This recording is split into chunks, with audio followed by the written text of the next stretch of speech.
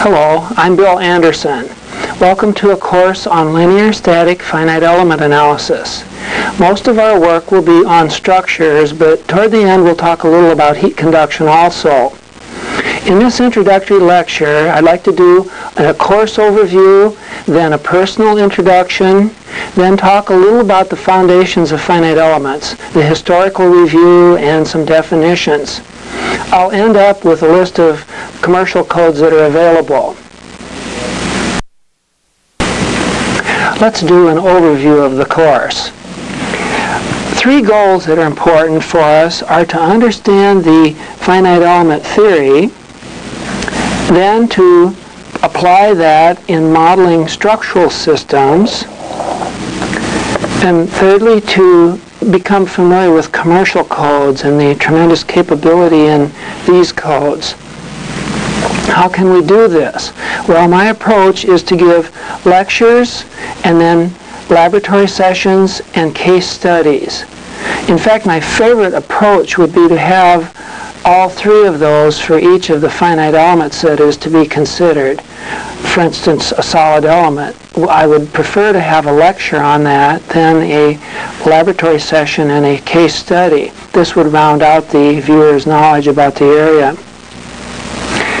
Now, the typical viewer of this material will be an engineer, but I'd like also to encourage people that are in the physical sciences and in mathematics, uh, including computer science, because you need some background either in structural mechanics or in linear mappings to understand the material. If you come from the structural side, that's great. You'll have a lot of intuition about the structural system. If you come from the mathematical side, that's fine too. Then you'll have some feeling for how vector quantities are mapped into other vectors. Certainly our level here is introductory. I want to treat finite elements from ground up. So my intent is not to present theory too quickly, but rather to build slowly. Our main topic is linear static structural analysis. So what does that really mean? Here we have a curve of cause and effect where a line is given as typically an equilibrium position and a system often will start at the origin and proceed under a cause out along this line. We're basically interested in the linear portion of that relation could be both positive and negative, such that our system moves up and down this line. That's called a linear system. Now, structural systems, in fact, if loaded enough, will encounter what might be called a softening effect here, and then possibly a jump phenomena where the system might leap from one static position to another static position. You can also get bifurcations where the solution branch will suddenly split into several arms. Now, these more exotic topics are beyond our scope in this course, so don't worry about those. We're going to look only at the linear case. Let me give a short personal introduction. My doctorate was from Caltech in July 1962. Uh, the degree was in aeronautics. We did have many classes and seminars in common with mechanical engineering and engineering mechanics people. My master's was at Iowa State, as was my bachelor's degree, both in aero engineering. Back then it was called aeronautical engineering. The space side hadn't started. Full-time jobs, well, after graduation I went to Wright-Patterson Air Force Base as a first lieutenant and did research at the Aerospace Research Laboratories. Then I came to the University of Michigan as a professor, and I've been here ever since. Sometimes I like to say I could never find honest work, so I became a professor. But it has been a pretty rewarding career, and working with young people is, is a challenge, and it's rewarding. I've been fortunate to have some contact with industry during these years of my own education and then um, the university professorship when I was an undergraduate, I was able to work at Chance Vought Aircraft in Dallas for three summers, and that was a nice experience working with the F-7U, F-8U, and some wind tunnel testing. At the Boeing Airplane Company in 1957, I worked on the B-70 proposal. Since coming to the University of Michigan, I've had a fair amount of contact with the big three automakers and Caterpillar. My consulting company has done quite a bit of work with these companies also. And my biggest interest has indeed been the formation of a consulting company in Ann Arbor. You might call it a spin-off company from the university. It's called Automated Analysis Corporation. We currently have about 120 consultants located in Ann Arbor, Illinois, and North Carolina. We have a Peoria office and an, a, a Raleigh, North Carolina office. Let me finish with a few comments about hobbies that I, I love to play volleyball, both indoor and sand volleyball, and I've taken up downhill skiing this past year and a half, which I really love. So I've had a lot of fun in sports. Prior to that, I had done quite a bit of model building and gardening and woodworking, and I still like to do those as time permits it's important for us to have a definition of what a finite element is out in front of us. And we can haggle about that and, and change the emphasis as time goes on. But here's a practical working definition for now. Let's consider that a finite element is a hypothetical subdivision of a structure or a system and that that subdivision possesses a regular shape that can be analyzed. Now, the point here is that the regular shape means that you can isolate a triangle or a quadrilateral or a hexagon or a uh, hexahedron and you can go off to the side and do lots of fancy mathematics to understand that element. Then later on that information can be brought back up to the system level. Now, I've tried to show that as a process here below with four steps so that the finite element method requires these steps. The First of all, the development of the individual element. And this often uses classical mechanics, so we don't back away from the classical people, the Timoshenkos and Eulers and Bernoullis and so on. We indeed need their classical work. Then once you have elements, you have to be able to assemble them into your total structure or system. Thirdly, you have to be able to solve that assembled set of equations, and this depends very much on modern numerical methods. You really need to have efficient solvers. The dominant one in our static area is the Gauss elimination. This may change in time, but one, one such uh, method of solution is dominating at present. Lastly, when you have your displacement field for the structure as a whole, you need to recover internal field variables such as stress and strain. And that recovery in the way that we do this process is actually an afterthought. It's uncoupled from the solution process, which is done in terms of the displacements at the points of interest. Well, what are these finite elements? I'd like to show you some sketches of a few simple finite elements and we can talk about some of the details. First of all, there's the line element the one I'm showing has two points of interest at its ends. Those are called nodes or grids. The node points are useful for a number of purposes. One is to connect to neighboring elements. A second reason is that you need to put information in and get information out of the element, and the nodes are the points of highest interest. Thirdly, you can use these nodes for accuracy because they provide degrees of freedom that characterize the field variable that you're interested in. And when I say field, I mean something like a displacement field, a stress field, or a temperature field. It doesn't mean anything really fancy. It's just a function of space. Now, on this latter question of getting accuracy, it's possible to add internal nodes. And this is done to some extent, especially on solids. It's done to a lesser extent on elements such as the line element. In fact, I don't know of a three-noded line element in, in the um, codes that I have been using. So there's always a trade then between adding more nodes internally with merely using a finer so-called mesh where you have smaller elements and more of them.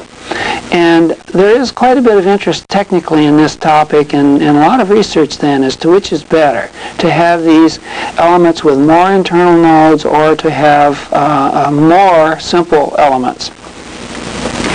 Well, let's go on to a two-dimensional body here. I show, in this case, what might be a planar element, or it could be curved and therefore be representing shells. Now you might have three or four nodes at the corners, and you can see how these would, uh, again, attach to neighboring elements. This time you can have mid-side nodes that are more meaningful because they would be used in the attachment to the neighboring elements. Truly interior nodes can also be used. Let's stop for a moment and look at the displacement fields that are present in and at the nodes of these elements. In the top part of my figure, I show a line element again or a rod element. Now a civil engineer might call this a truss. With the two nodes at the ends, you have the possibility of a displacement being defined there that is purely a nodal displacement. Likewise, there will be the possibility of a force to be put in at that point or reacted. Now those are nodal quantities, and I think people would have a pretty good feeling for that. And were there an internal node, we would also have a corresponding force and displacement there. Notice that the pair, the force and displacement, have the same sign convention, and furthermore, their product is work or energy. So uh, we're very consistent on this with our nodal quantities in the finite element method.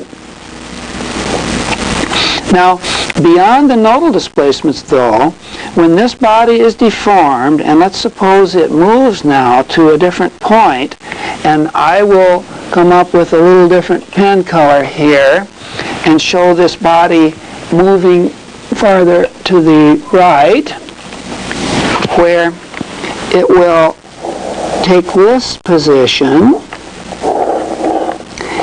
And the point is that a material particle in the original undeformed position is going to now displace to a deformed position.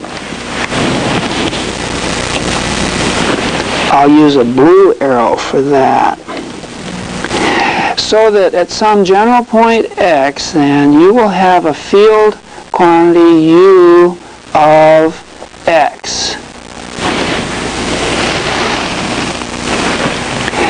So it's a problem in finite elements then to find the field variable and describe it in terms of these nodal quantities at the periphery of the element. And you can see that this becomes a problem of interpolation.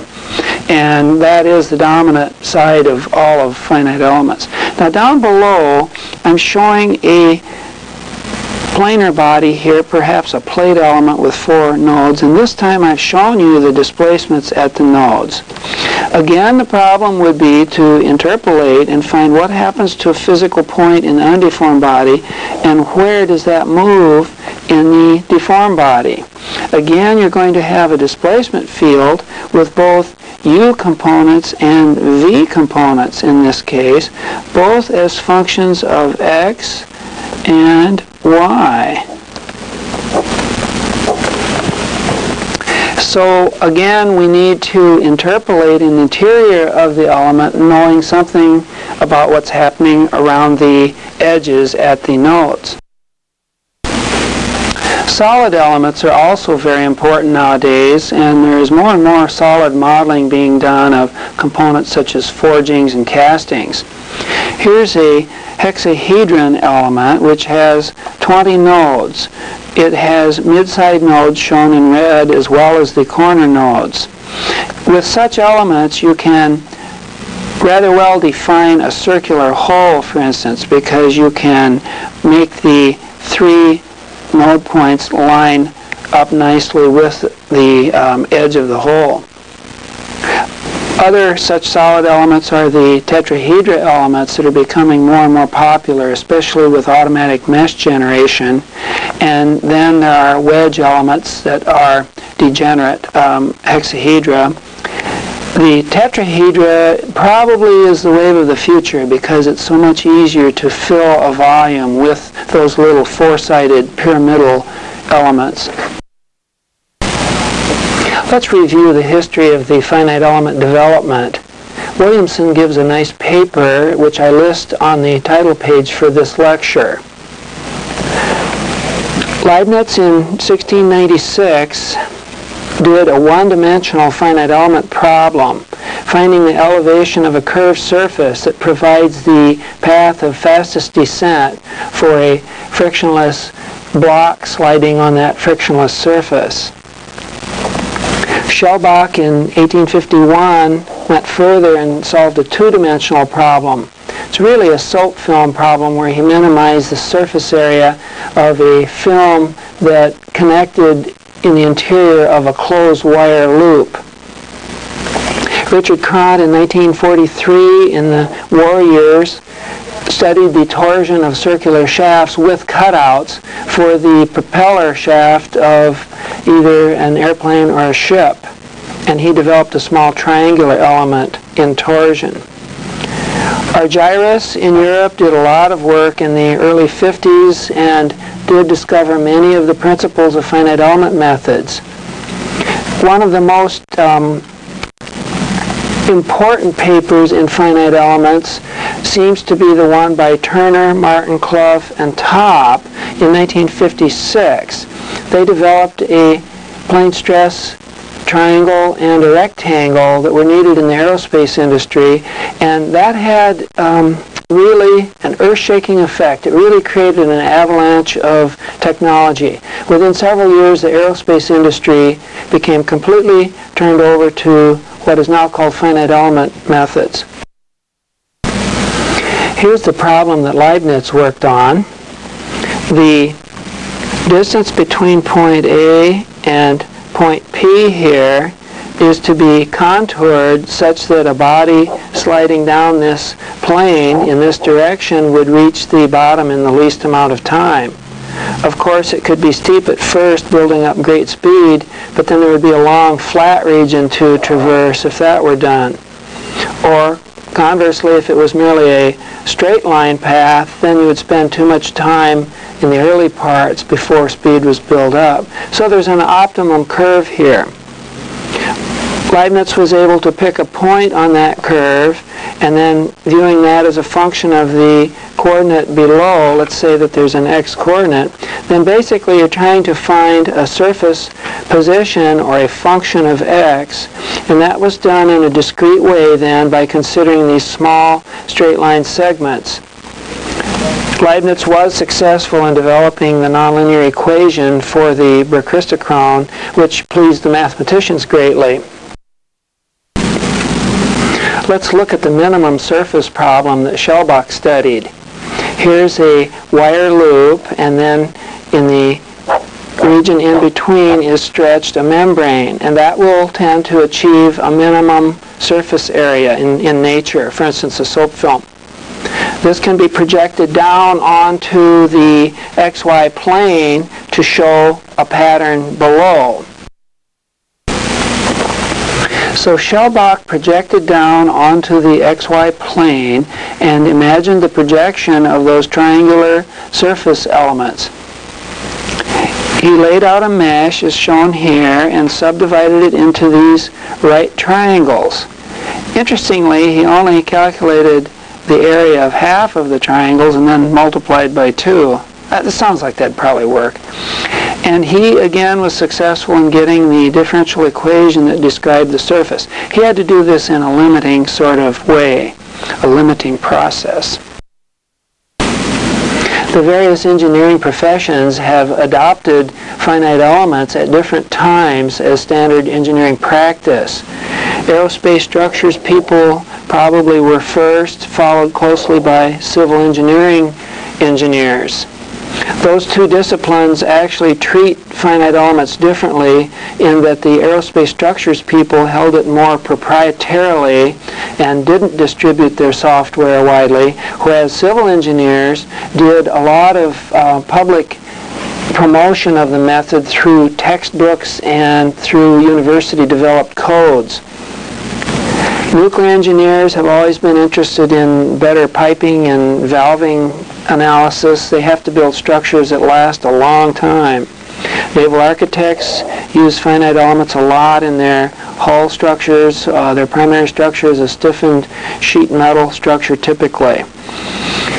Zienkiewicz did a lot of work in engineering science areas and got people to use finite elements in problems like fluids in estuaries, uh, finding the the liquid line, say, uh, in an earthen dam, the so-called phreatic line where the soil is wet. Mechanical engineers were a little bit later to come in, and I think because their methods were already sufficient for them, they had many table lookup methods and stress concentration factors and a lot of classical analysis that was sufficient. But one thing that has driven everyone toward using finite elements is the need to model an entire vehicle uh, made of many different components and, uh, in our terms, of different elements. So finite elements now is used widely for modeling entire automobiles. Electrical engineers have used finite elements to study field variables within semiconductors uh, and within radar circuits. Lastly, aerospace fluids people were one of the last groups to come in heavily into finite elements. I've been told, and I can't really confirm this, that the biggest hang-up has been discontinuities such as shock waves and liquid-solid interfaces. There's a uh, an, an old engineer's rule of thumb that finite differences are better for that problem or for those two problems. I can't confirm that. Many serious finite element people say, no, there's no fundamental reason why there should be any difference. One reason we like finite elements is that we can build the physics of the problem in at the element level, and so that each element has a nice physical interpretation which will conserve equilibrium and energies of various kinds. So I think it will emerge more and more as the fluid standard also. I'd like to give three examples of projects that I have worked on just so that the viewer has some feeling for what a typical finite element project might be. The first one was an all-welded load ramp. This is a bridge-like body about six meters long and two meters wide. Forklift trucks carry heavy loads on this from ground up to a rail car or to a truck. The body's made from cross members here that are I-beams, and then sidewalls that are sheet metal with stiffeners at the top and bottom. There are end plates that are slightly corrugated so as to give some traction. They have a, a pattern embossed in them. There's a grating that lays over the I-beam bed, and I don't regard that as primary structure, so I leave it off in the analysis phase. Overall then, the stresses and deflections were found and the goal was to use the finite element model for two separate geometries to validate a more conventional classical solution for stresses in the beams and plates. And that was done and ultimately the load ramp was shown to satisfy a government criterion for loading wherein a large billet of steel was placed on end at several cri critical points on the bed. A model that required solid elements was that of a load cell. This is a 50,000 pound load cell used by the Highway Commission in the United States under the platforms that weigh trucks. This was just a proposed design. It's basically a hollow tube that has been milled flat on two sides and then with cuts made to make a more sensitive area in the interior. The question is, how does the stress flow around these cut holes and where would a person put the strain gauge to measure strain in the sensitive region. For instance, you might want to align the strain gauge in a direction where strain was largely constant along its length so that it wasn't averaging in that direction. The interesting thing that came from this was that there were very high stress regions around the holes and I took this as a student project at the university for my master's level class and we tried various hole patterns and uh, undercut patterns here and we really could never get the stress down low enough to satisfy their requirement that this not go nonlinear. The original design had a stress over 100,000 psi in the neighborhood of that um, relief hole and at that point, the uh, customer decided to hire finite element people and replace quite a bit of their photoelasticity and really look at this because it turned out to be a more difficult design problem than they had thought. And three-dimensional photoelasticity was taking so long to do. An interesting comment about the finite element model is that this body has what is called cyclic symmetry, and that was not available in the code that I used at the time. I used a code called Superb by Structural Dynamics Research Corporation. Uh, since then, it has not been put on the market standing alone, but I presume parts of it are built into some of SDRC's other products. It was a, a nice isoparametric element program in its day. Now the cyclic symmetry I'm talking about means that if you look at a, an axis centered at this body and going into the plane of the paper, you'd find there's a kind of a rotary symmetry here where you could take the bottom half of the body and rotate it about that axis, uh, that axis and get the top half. So so the code that I use couldn't exploit that. It didn't have what were called multi-point constraints. You see, what's going to happen on this part of the boundary, on this side, is going to be um, actually perhaps a negative of what happens on the other side, or at least a, a, reflection rotated 180 degrees. And so there is a way to handle this in some modern codes that have what's called cyclic symmetry. And in that case, you could get by with modeling only half of the body. But I couldn't do it at the time, and I overran on my computer money as a result. A third project of interest is an aircraft trailing a long cable, which could either be an antenna or a way of carrying goods at the end of the cable in a capsule. This was the thesis work of John Russell, an Air Force officer who recently retired as a colonel in the Air Force. Here the cable is shown trailing in a sort of a helical shape such that the capsule at the end rotates in a circle about the axis. If the plane maneuvers properly at the right speed and radius of orbit, you can make this capsule rotate in a relatively small radius about the axis. The principle was originally figured out by Nate Saint, who was a missionary in South America. And I remember seeing in the National Geographic a picture of his Piper Cub in the distance trailing a 500 foot long rope. Natives in a clearing were reaching up and grabbing the basket at the end of the rope, which was hanging uh, almost motionless, really oscillating in a small circle. So that was an experimentally developed technique. Unfortunately for Nate, the Indians later captured him and killed him. So I guess, uh, boy, if people in finite element analysis have trouble with their customers, why, he really was the extreme case. So at least our customers usually don't kill us after a project. But in this case, um, we model the cable with 10 elements, which proved to be sufficient. We were able to predict several instabilities. There was a flutter instability, a jump instability. This indeed was a nonlinear problem in the geometric sense that the cable could move through large angles. And so a homemade code was developed to handle this case. So the three examples that I've mentioned here have used, uh, in the first case, a university developed code for the load ramp called SAP.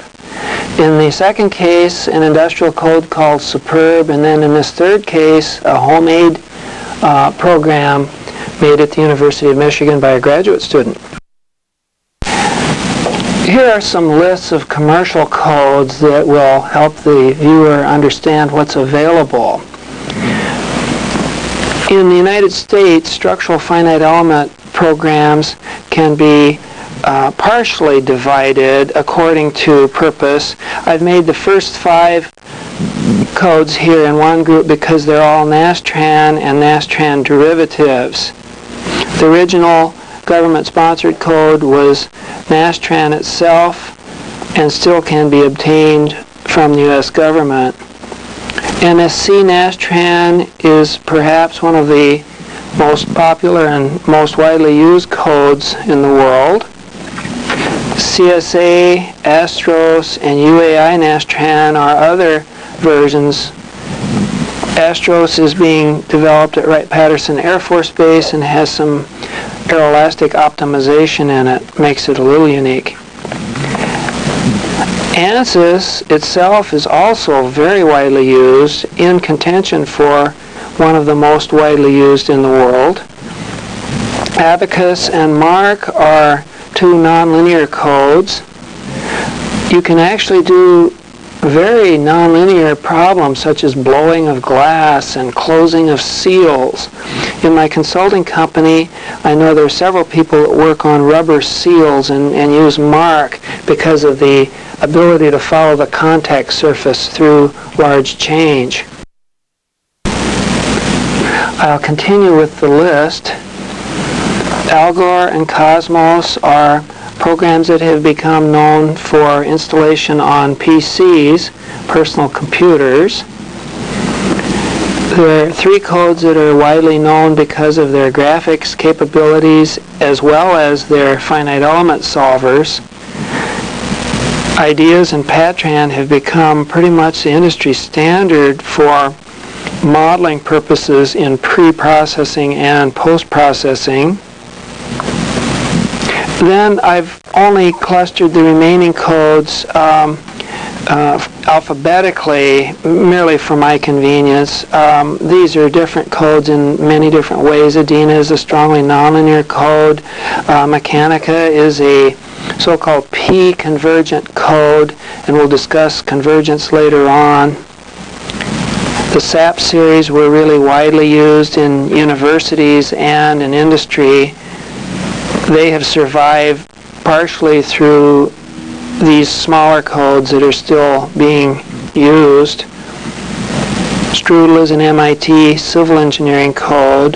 Stardyne was one of the oldest codes and still in use. Now there are also a large number of European developed finite element codes.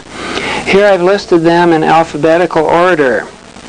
These are companies that often advertise in the open literature, such as in John Robinson's magazine, Finite Element News. So uh, I know that I have missed some codes and I'm apologetic. I would like the uh, vendors, if their code is a major one selling a million dollars or more a year, I'd certainly like to include that in future versions of this list. The next figure completes the European developed finite element codes. The last figure with lists of computer programs has to do with boundary elements and then fluid finite elements. These are both a little bit on the fringe of our topics in this course.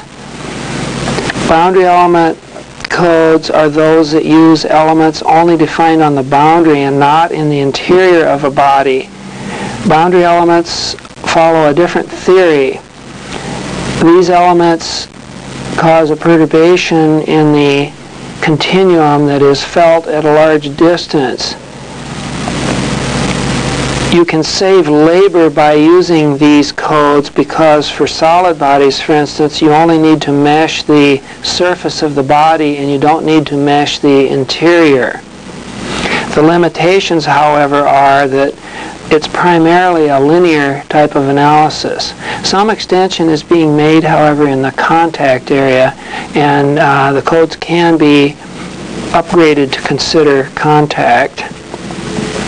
Then the fluid finite element programs. Here's where several new fluid codes are being developed rapidly at present for flow around bodies such as automobiles. The code rampant is being used quite a bit by a research group that I'm working with on underhood flow. So the finite element approach seems to be emerging in fluids in spite of the fact that it has been slow in coming. While preparing these lectures, my son Glenn and I have started doing what are called morphs. And this is the gradual blending of one body into an image of another body. And you've seen some of these things in the Terminator movies and where a normal person will turn into somebody made out of stainless steel or something. That'd spoil your whole day probably. But uh, we've done the same thing with myself and my daughter here just for the fun. And so the question I'm answering in this first figure is, have I been spending too much time studying finite elements? And you can see the progression from me, from a, from a normal me into a finite element. Looks a little bit like a bag put over my head. Uh, of course, the answer is probably yes. I should probably be sticking to skiing and uh, playing volleyball by now. But anyway, uh, it's kind of fun to do this. And you know how it's done. You'll take the, um, the image of the person at the top and then some other object, either another person or an inanimate object, and then the um, program will allow you to match points, maybe the tip of the nose on the person with the tip of this sketch. And then a linear mapping is done in which you take certain proportions of each of those figures. Uh, the 50% proportion is shown here at the right, so that's half me, half finite element. Probably the way my wife thinks I am most of the time anyway. My daughter Ellen was walking by when we happened to be tinkering with this, and so my son captured her and got a photograph on, on a video camera, and then with a handy stick of broccoli, we converted Ellen into a stick of broccoli here. And again, the question, has Ellen been eating too much broccoli? Well, I don't know. George Bush wouldn't do it, so somebody had to do it. And I suppose that would have been a better morph yet, would have been taking George Bush's figure and, uh, and converting it into a stalk of broccoli. Well, that ends our first lecture, and at this point we're going to turn toward more technical topics, and we'll start with the rod element next.